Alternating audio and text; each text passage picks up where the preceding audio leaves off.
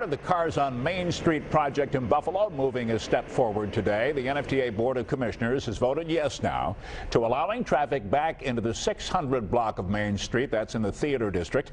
Though the construction there has already been completed, it's been that way for a couple of months. NFTA Metro rail operators needed to receive new safety training to share the road with cars once again.